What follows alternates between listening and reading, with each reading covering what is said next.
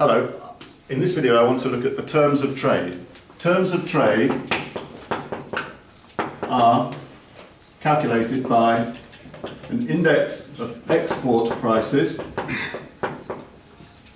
divided by an index of import prices. Terms of trade are about the ratio between the price of the goods that a country exports compared to the price of goods that the country imports. You see, countries specialise and exports certain things and will need the earnings from those exports to be able to pay for the imports it wishes to buy.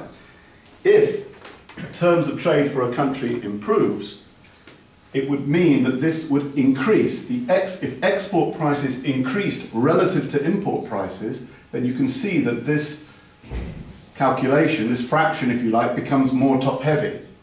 Uh, export prices go up compared to import prices, it's good for a country because uh, with the things that they sell, they export, they, they earn more money, they are able to buy in a greater amount of imports.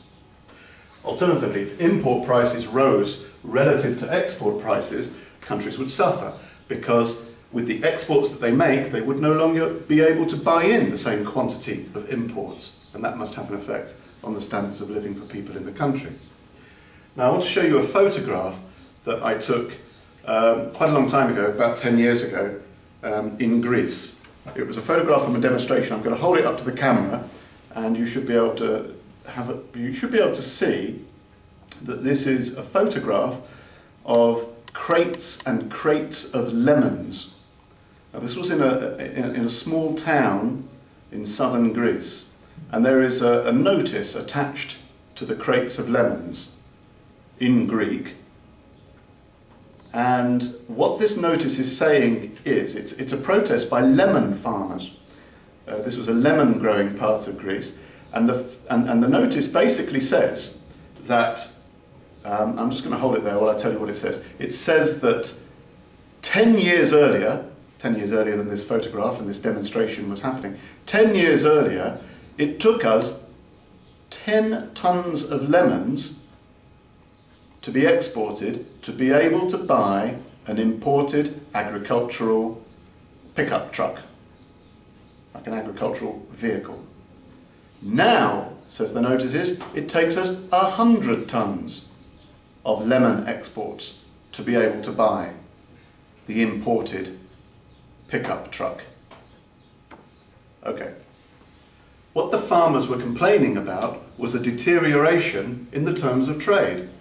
What the farmers were saying was, of course, as I just said, that previously they had been able to grow and sell their export of lemons, and it took them 10 tons of exports to be able to get enough money to be able to buy an imported car. No cars are made in Greece, all agricultural pickup trucks get imported. They, of course, they didn't have to. That's not the only thing that's being imported into Greece, and lemons aren't the only export. export. But, but this was a good example. 10 tons of exports of lemons uh, to buy one foreign pickup truck. And the, and the price of lemons must have dropped so much compared to the price of the, the cars, the trucks, that, that it now, they were complaining, now they had to work 10 times harder. They had to, to sell 100 tons of lemons to be able to get that same pickup truck. They didn't use the phrase terms of trade, but you can see that what had happened to those farmers was there was a worsening of the terms of trade.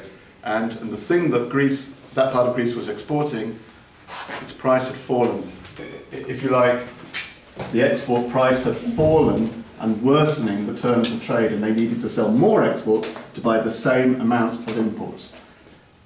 Okay, so that would be a worsening of the terms of trade. Countries do not want a worsening of the terms of trade. But there's another point with that example, is of course that lemons are an agricultural good, it's a commodity, and manufactured uh, vehicles like pickup trucks and cars are not commodities, they are manufactured goods. And over time, over a long period of time, it's countries that produce um, agricultural goods and, and, and other commodities that tend to have suffered because historically the price of commodities has not been, uh, has not kept up with manufactured goods. And that has meant that countries that rely broadly on the exports of commodities have broadly suffered with worsening uh, terms of trade because the thing that they are exporting has, has not kept up in price with the thing that they would be wanting to import. Saying that, in the, in the very recent uh, year or two of, of, of, of, the last year or two, uh, commodity prices have been high, and a lot of people predict that commodity prices will do, will do well. Take an oil exporting country. Right now, as I speak, oil prices are something like $125 a barrel. Well, that's quite high, and so if you're an oil exporting country, well, your exports are quite good at the moment, and you'll be able to import a lot more. Um, you had, have had uh, an improvement in the terms of trade as your oil prices have gone up, your exports have gone up in price. Right, one more thing about terms of trade. Uh, trade will only take place if the terms of trade lie within the opportunity cost ratios of production. I'm going to say that again. Trade will only take place between two countries if the terms of trade lie within the opportunity cost ratios of production for those countries. Let me show you what I mean by that.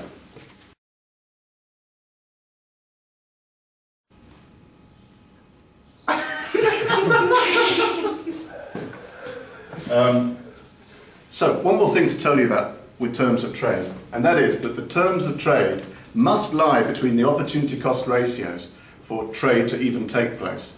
Let me say that again. Terms of trade have to lie between the opportunity cost ratios for two countries if trade is to take place at all anyway. Let me illustrate this with an example. Imagine that there are only two things made in the world, two products, cars and cocoa beans. And imagine there are only two countries in the world, the UK and Uganda. Incidentally, Uganda is the biggest producer of cocoa beans in the world, so there's a little bit of truth there. Right, this chart I'm about to fill in tells us the hours needed to make one unit of cars and cocoa. Let's imagine in the UK it takes 20 hours to make a car, and in Uganda it only takes 16 hours to make a car. And let's imagine that in the UK, a unit of cocoa beans, that might be a ton of cocoa beans or something, takes five hours to make, to grow, and in Uganda it only takes two hours to grow. Now, if you've learned absolute advantage, you'll know that Uganda has the absolute advantage in the production of both cars and cocoa because they can make them at a lower cost. And you can see perhaps comparative advantage there as well. But this video is about terms of trade. So I want to once you've, you know, pause the video now and, and write down that, that chart because, because we're going to take this information that's here on the table and we're going to put it on a graph and you're going to see what I mean when I say terms of trade have to lie between opportunity cost ratios. Okay, so just, I'm just going to pause for a minute while you look at that. Okay. Right, now I'm going to rub that out because I'm going to draw it on a graph. So, we don't know the total amount of resources available in the two countries, the UK and Uganda, but what we can say, so I can't draw the actual PPFs, but what I, what I can draw is this. Cars and cocoa. And I can tell you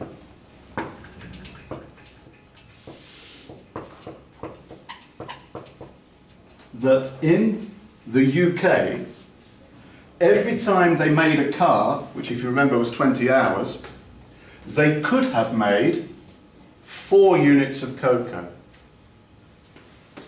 Why? Because it took five hours to make a unit of cocoa. So with every 20 hours they've got available in their limited resources, they could make one car, or they could make four cocos with 20 hours.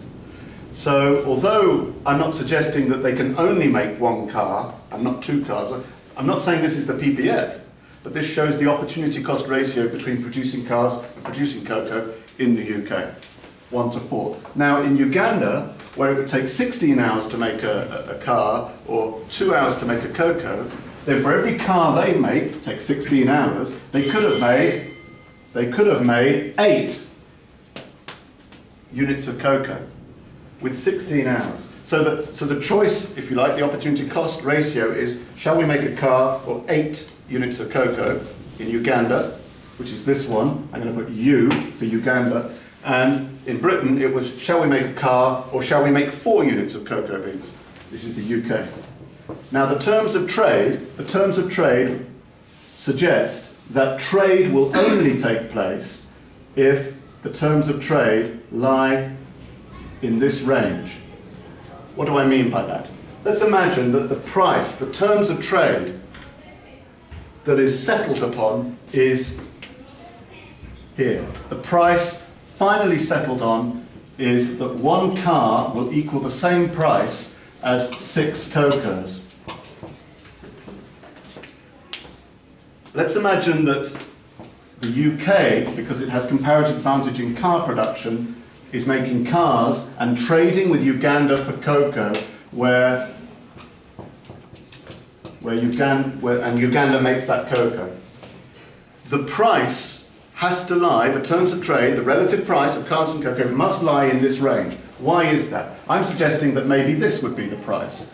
Six cocos for one car. Why? Because if the price tried, if, if one of the sides wanted the price to be here, where one car had to be given up for three cocos, well, that might suit Britain making, uh, that might suit Britain making, uh, sorry, Uganda making cocoa, because they would very much like to take a car for every three cocos they sell. But Britain wouldn't accept this. Britain would say, no, we're not giving away one of our cars for just three of your cocos because we can make four cocos every time we give up a car ourselves. Why would we export one of our cars for just three of your cocos? And this would be unacceptable to the UK. And then beyond this point, it would be unacceptable to Uganda. Uganda, let's say um, Uganda, let's say that Britain wanted a price of 10 cocos for every car it sells. Uganda would say, no, this isn't acceptable. We can make our own cars by giving up eight cocos, so why would we sell to you 10 cocos? Just to, just, to, uh, just to get one of your cars? No. So the only range of, of prices that would be acceptable, the only range of terms of trade that would be acceptable lie within this range, acceptable to both sides for trade to go ahead. If the price, if the relative price of cars to cocos was outside of this range, in my example of one car being be worth between four and eight cocos, if it was outside of that range, one of the two countries would not be willing to trade. The terms of trade for trade to happen have to lie in that range. Well, I hope I haven't left you even more confused uh, than you were at the start of the video. I hope that makes sense. I think it did and um, thank you very much. Okay, that's it.